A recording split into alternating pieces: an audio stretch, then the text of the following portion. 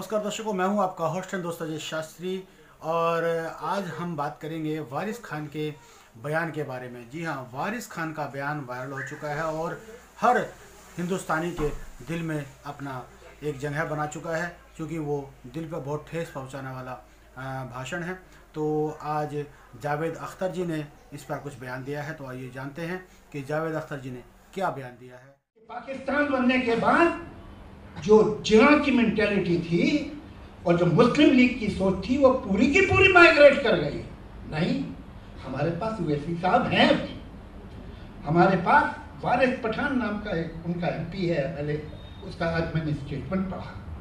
वो कहता है, हम पंद्रह करोड़ हैं, लेकिन हम सौ करोड़ पे भारी पड़ेंगे। अरे, बेवकूफ़। चाहे। तू क्या, किसका काम कर रहा है? किसकी नौकरी में भाई, बता तो मुझे।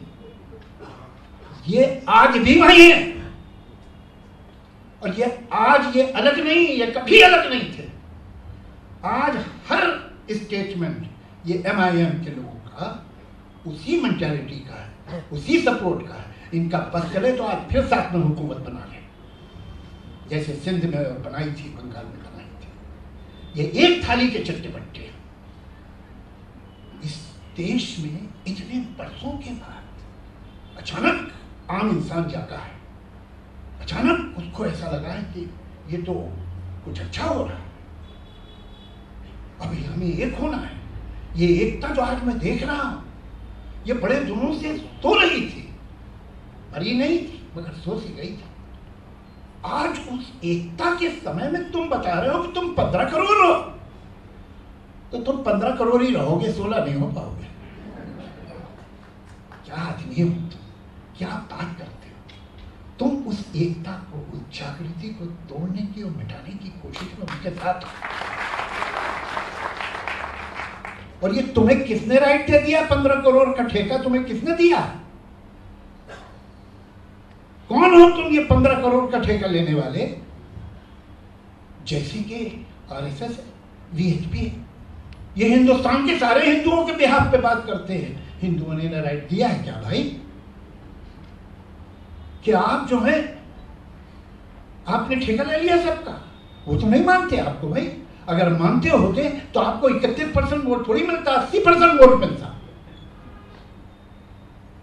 ये लोगों से हमको चौकन्ना है ये कहाँ ले जा चाहती है? कौन है? ये किससे प्रभावित?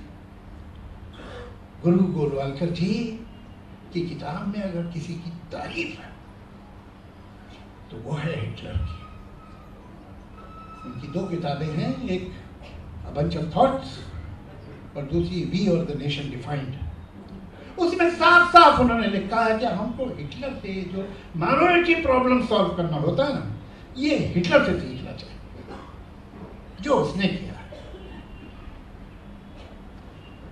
मगर हिटलर से एक और बात भी सीखनी हमें चाहिए। दुश्मनी सिर्फ़ जू से थी।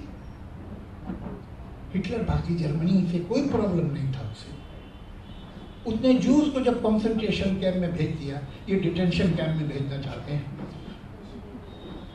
तो क्या बाकी लोगों को आराम से रहने दिया? सब खुश थे। किसी पे कोई दबाव नहीं था। गलत। वो चाहे कोई भी फाशिस्ट हो, वो एक दुश्मन पैदा यही तो जना ने बताया था कि अगर हिंदुस्तान आज़ाद हो गया और तुमने अलग मुल्क नहीं बनाया तो हिंदू तो तुम्हें खा जाएँगे। खत्म कर देंगे तुम्हें। भाई, मैं तो नहीं खत्म हुआ। मैं तो ठीक मगर ये खौफ जो पैदा करते हैं, उसके बाद क्या हुआ? मैं इस बुरे से बुरे वक्त में, आज जो मेरे पास आज़ादी है और टंके की चोट पर मैं बोल सकता हूँ आज भी पाकिस्तान में कोई मुसलमान नहीं बोल पाए तो तुमने वहाँ डेमोक्रेसी कर दी। वहाँ के आम आदमी को पूरा हक दे दिया। भाई, हिंदू तो गए। काफिर अब कहाँ है? अब तो सब अल्लाह के बंदे अब खुश रहो। एकता से रहो, मोहब्बत से रहो। अब तो नूर ही नूर है चारों तरफ़। अब क्या प्रॉब्लम है? तुम्हारी हिस्ट्री में आधे से ज़्यादा वक्त पे तो आर्मी का रूल रहा है। और जो बाकी वक्त रहा है, वो भी कहने वाली बात है कि डेमोक्रेसी आप भी जानते हम भी जानते हैं, वो भी जानते हैं। अब क्या तकलीफ़ है? ये पहला कदम होता है। पहला जीने पे, सीढ़ी पे, पहला पैर रखते हैं। ये तुम्हें तबाह कर देंगे। इसलिए तुम अपने ह्यूमन राइट्स की बात मत करो। ये देखो तुम खतरे में हो। तुम घिरे हुए हो दुश्मन से। इसलिए चुप रहो, जो हम कहें वो करो।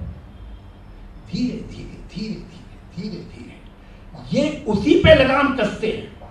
उसी को कैद में लेते हैं, जिसके बारे में कहते हैं कि हम तो तुम्हारे लिए लड़ रहे हैं।